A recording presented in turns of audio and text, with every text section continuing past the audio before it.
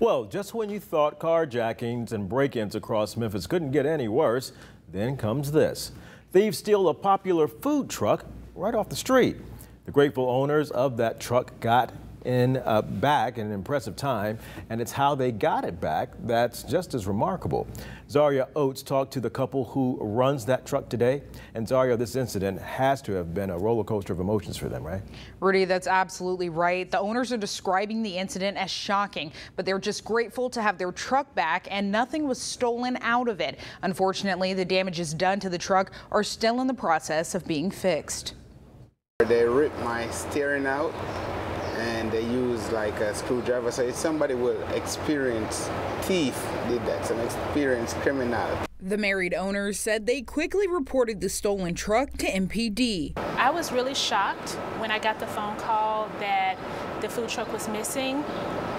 It is very rare for a food truck to be stolen completely. I immediately got on the phone with the police. I was hoping that perhaps it had been towed, um, but it turned out after the police came that it was in fact stolen. They are dealing with damage to the exterior after thieves ripped off the wrap around the truck. Everything was like flipped over. I don't know what they were looking for, but yeah, they start like they're they're looking to like either sell it or something.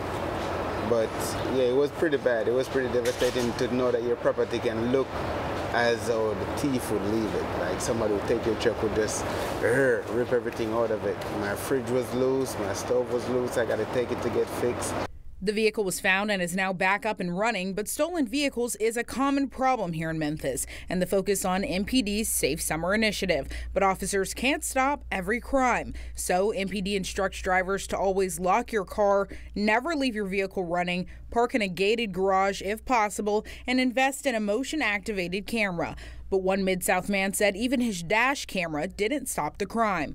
This video from his cameras shows someone parking next to him, busting his window open and searching his car for anything they could find. He reported the incident and is disappointed he became the latest victim of a car break in despite taking all precautions.